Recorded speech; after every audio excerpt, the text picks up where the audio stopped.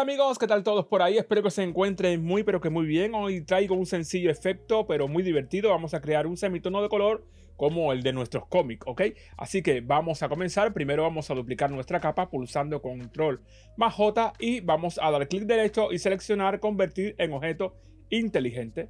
Una vez lo tengamos, ya podemos comenzar a crear nuestro efecto. Lo primero es ir a la pestaña de filtro y vamos a seleccionar la galería de filtros.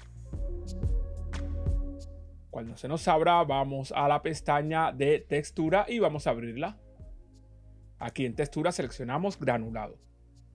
Y a continuación ya podemos empezar a modificar este filtro. Lo primero es cambiar el tipo de granulado. Aquí seleccionamos ampliado.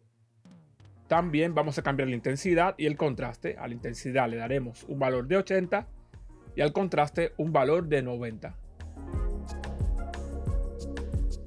Vamos a agregar un nuevo filtro, pero para eso tenemos que ir a la parte inferior y dar clic aquí en este símbolo de más. Vamos a cerrar el grupo de textura, pero vamos a abrir el de artístico. Aquí seleccionamos película granulada. Aquí también vamos a hacer algunos reajustes, así que al granulado le daremos un valor de 3, al área resaltada un valor de 10 y la intensidad la dejamos como está, con este valor de 10. Cuando lo tengamos ya podemos cerrar nuestra galería de filtros. A continuación vamos a aplicarle un efecto de semitono. Para eso simplemente vamos a la pestaña de filtro, pixelizar y aquí seleccionamos semitono de color. Comenzaré dándole a radio un valor de 12 píxeles. Tú puedes probar distintos valores hasta conseguir el tamaño de semitono adecuado para tu imagen. Esto siempre podemos hacerlo desde la opción de filtro inteligente simplemente dando doble clic sobre el filtro deseado para volver a editarlo. Una vez estés satisfecho con el tamaño de tus semitonos, vamos a abrir el estilo de fusión de este filtro. Simplemente damos doble clic en este icono de aquí. Y ahora de esta manera podemos cambiar el modo de fusión de nuestro semitono. En este caso utilizaré el modo de fusión oscurecer. Algo que también podemos hacer es bajar la opacidad si vemos que es muy intenso. En este caso bajaré la opacidad a un 50%.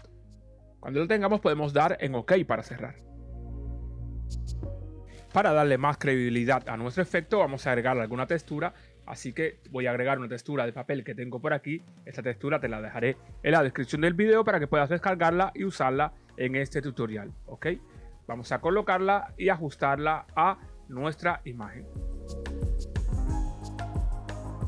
Cuando lo tengamos, ya simplemente nos quedaría cambiar el modo de fusión a trama y ajustar la opacidad de nuestra textura. En este caso, bajaré la opacidad a un 75%. Y ahora, para terminar, vamos a agregar algunos ajustes para mejorar nuestro trabajo. Empezaré poniendo un ajuste de brillo y contraste.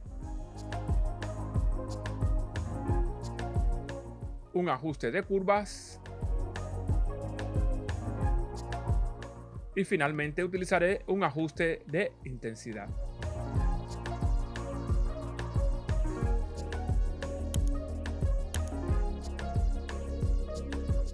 Y bueno amigos, como hemos podido ver, es muy sencillo crear este efecto de semitono para aplicárselo a nuestras imágenes y darle ese estilo vintage y retro que tanto nos gustan. Como siempre, no se olviden de comentar, suscribirse, dejarme un like, Muchas gracias por visitar el canal y nos vemos en el próximo tutorial. Chao amigas, chao amigos, chao.